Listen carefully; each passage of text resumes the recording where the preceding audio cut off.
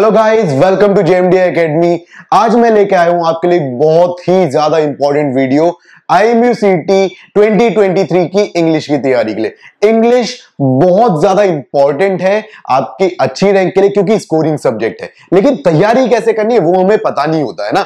तो आज वो तैयारी आपको कैसे करनी है ये मैं आपको पूरा डिटेल बता दूँ कि पेपर आता कैसा है, उसमें क्या क्वेश्चन आ सकते हैं, किस तरह के आ सकते हैं। और आपकी अप्रोच क्या रहनी चाहिए? भाई, सबसे पहली बात, आपके फिजिक्स केमिस्ट्री मैथ्स जो टॉपिक्स हैं, जो सब्जेक्ट्स हैं थोड़े से टफ हो सकते हैं, लेकिन इंग्लिश इज़ सुपर इजी बहुत आसानी से हो सकता है तो स्कोरिंग है। तो अगर आपको रैंक लानी तो इंग्लिश को छोड़ना नहीं है बिल्कुल भी, ठीक है? ओके तो इंग्लिश की तैयारी के लिए आपको बता दूँ पेपर में सबसे पहला क्वेश्चन आपको दिखाई देता है, हो सकता है वो आपके सीरियल में इधर उधर हो जाए, लेकिन आपके वो पेपर में ज़रूर दिखाई देगा, क्या?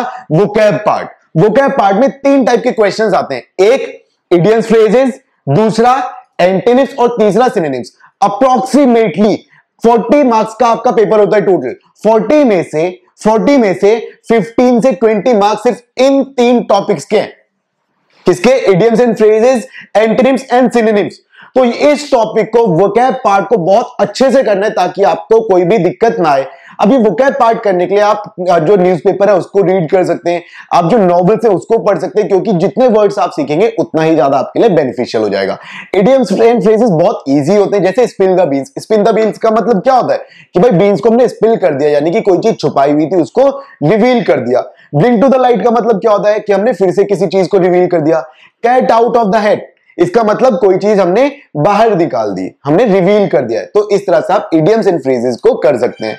अब आते हैं हमारे एंटोनिम सिनोनिम्स एंटोनिम्स वो होते हैं वर्ड के ऑपोजिट वाले वर्ड्स ठीक है, जैसे ब्लैक का क्या होता है? व्हाइट होता है। है डार्क का क्या हो जाएगा? फेयर हो जाएगा। सिनोनिम्स सेम मतलब वाले शब्द, जिनका मतलब सेम होता है। ठीक है? तो जैसे ब्लैक का सिनोनिम क्या हो सकता है? डार्क हो सकता है। यस yes, हो सकता है। तो जितने भी हमारे क्लोजेस्ट पॉसिबल वर्ड्स होंगे हम इन तीनों क्वेश्चंस में से हम उनको सेलेक्ट करते हैं और आपके 15 से 20 मार्क्स श्योर शॉर्ट है जो कि बिना ग्रामर पढ़े बिना फालतू का ज्ञान ले इधर उधर से आपको आ गया। ठीक है? आपकी जो टेक्स्ट बुक्स है जो आपने पढ़ी है उसमें बहुत सारे वर्ड्स आपने ऑलरेडी पढ़े हुए हैं। तो ये पार्ट आप इजीली कर सकते हैं। अगले पार्ट में बढ़ू तो इसके बाद रीडिंग कॉम्प्रिहेंशन रीडिंग कॉम्पिटिशन एक पैसेज देते हैं भाई। उस पैसेज में से बस हम ये क्वेश्चन उससे रिलेटेड दे देते हैं। मतलब हमारे पास कोई पहले से तैयारी करने का मौका नहीं होता, लेकिन हमें सिर्फ़ ये करना है भाई वो पैसेज ध्यान से पढ़ा और क्वेश्चन देखा। अब इसमें मैं सजेस्ट ये करता हूँ कि पहले क्वेश्चन पढ़ो, बाद में आप पैराग्राफ पे जाओ। क्यों? क्योंकि आपको क्वेश्चन के आंसर ढूँढने पैराग्राफ पूरा पढ़ के फ़ायदा नहीं है। तो वाई वेस्टिंग टाइम टाइम बाकी सब्जेक्ट्स को देंगे ना। तो भाई क्या करना है? क्वेश्चन वहाँ पे लिखा कि वेयर इज़ कुतुब मीनार? तो वहाँ पे आपने पढ़ा, Qutub Minar is situated in Delhi okay answer मिल गया। बस, इस तरह से फटाफट कर दो। तो ये हमारा रीडिंग कॉम्पिटिशन भी बहुत इजी और पाँच नंबर शॉर्ट शॉर्ट आपके इसके भी बहुत आसानी से आ सकते हैं। अब एरर स्पॉटिंग ये आपका पूरा ग्रामर के प्रैक्टिकल यूसेज पे अब ग्रामर जब आप पढ़ेंगे ग्रामर में आपके कुछ टॉपिक्स हैं जो आपको अच्छे से पढ़ने और उसके एरर स्पॉटिंग आपको प्रैक्टिस करनी पड़ेगी, बिना प्रैक्टिस के ये टॉपिक आपका नहीं हो पाएगा। ठीक है? अब इसे पढ़ना क्या क्या है? भाई, पार्ट्स ऑफ़ स्पीच पक्का पढ़ने parts of speech noun pronoun verb subject verb agreement और आपके एडजेक्टिव एडवर्ब आर्टिकल्स ये आपको करना ही करना है। और कंजंक्शन तो भूलना ही नहीं, क्योंकि कंजंक्शन के बेस पर बहुत बार क्वेश्चन पूछा जाता है। ठीक है? जैसे पार्ट्स ऑफ़ स्पीच हमारे कंप्लीट हो गया, अब टेंसेज निपटा देना। एक बार टेंसेज निपटा दिए पार्ट्स ऑफ़ स्पीच निपटा दिए। अब जब आपने ये सब टॉपिक निपटा दिए, एक कंडीशनल्स और निपटा देना, क्योंकि इसके बेस पर ही बहुत बार क्वेश्चन पूछा जाता है। तो ये टॉपिक जैसे ही आपने निपटाए आपका एरर स्पॉटिंग भी आप आराम से कर पाएँगे।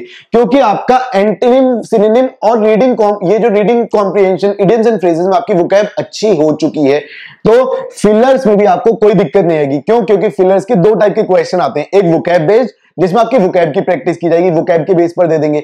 और दूसरा, जिसमें वो ग्रामर के बेस पर देंगे। तो ग्रामर के बेस पर डाल के आप फिलर्स भी कर सकते हैं। स्पेलिंग आपने बचपन से पढ़ी हुई कि भाई अप्रोप्रिएट की स्पेलिंग क्या होती है? अब वहाँ पे चार ऑप्शन होंगे होंगे।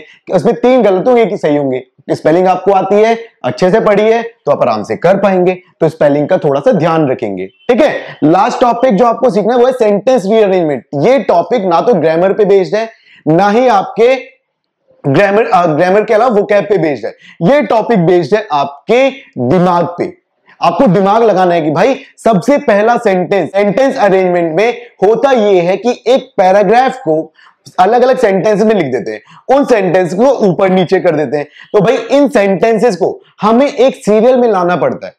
ठीक है? जैसे मैं कहूँ, एक राजा था, एक रानी थी, उनके दो बच्चे थे। अब मैं सबसे पहले तो उनके दो बच्चे थे।